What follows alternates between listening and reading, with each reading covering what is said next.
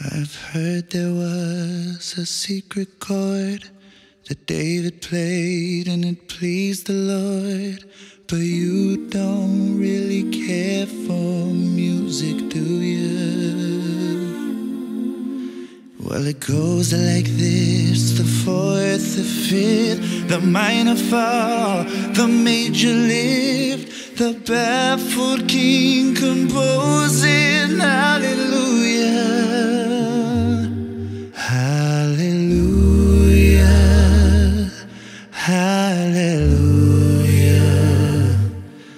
Hallelujah. Hallelujah.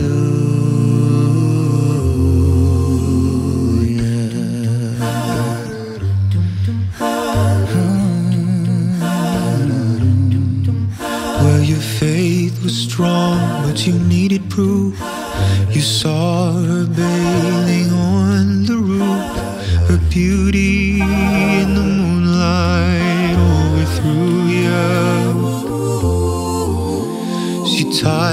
to the kitchen chair.